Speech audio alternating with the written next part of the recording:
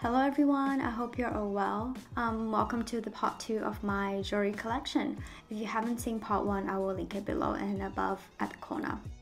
Um, comparing to my rings collection, my necklaces and bracelet pieces are actually a lot less. This is also not my entire collection. I do keep some of my pieces back in Taiwan at my mom's place. Starting from the latest addition to my collection, it's from a brand called Laura Lombardi. It's a sustainable jewelry brand based in New York. They have a really strong and vintage vibe kind of design look. I was drawn to this particular necklace because it looks like a piece you would find in a vintage boutique or a piece that's, I guess, passed down from your mom or grandma or something. Then there's this necklace from Bottega Veneta. I know they've become a huge hit since they've got these new designers from Celine, and everybody has been paying loads of attention to their bags and shoes. But honestly, I think they've been doing a great job on jewelry as well. This one I've got is actually a really long chain that comes with a sheen. Personally, I circle them twice before clipping, so it creates more of a, I guess, statement or layered look. Moving on to Lucy Folk, which is one of my favorite Australian designers. This palm necklace is probably my most worn necklace in this video. I don't really layer this one because I like it being on its own. It's a really cute and contemporary and interesting focal point.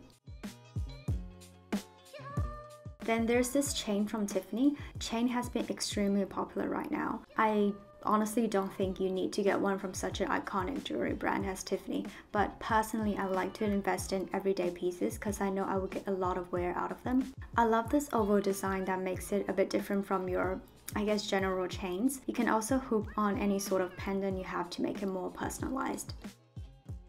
This one is from Wooga, and truth be told, this is my first pearl necklace.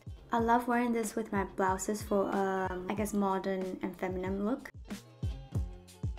This one is from a Taiwanese jewelry brand Attic. I got this piece when I worked with the designer Vanessa. I've been working with her for so many years, like since the start of my blog. She really excels in these lovely brass vintage looks, which I think is really unique in the market.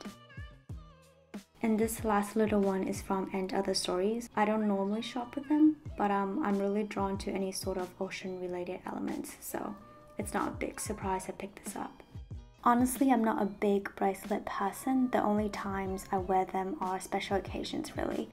This one is from Attic and as you can see, it's quite an out there piece.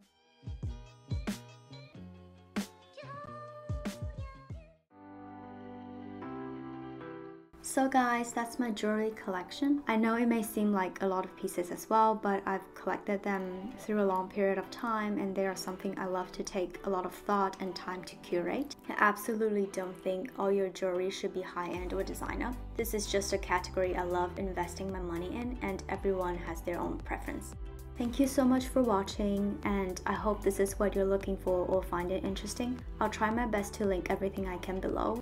If you like my content, do subscribe. I would really appreciate that. Anyways, I'll see you guys next week. Bye!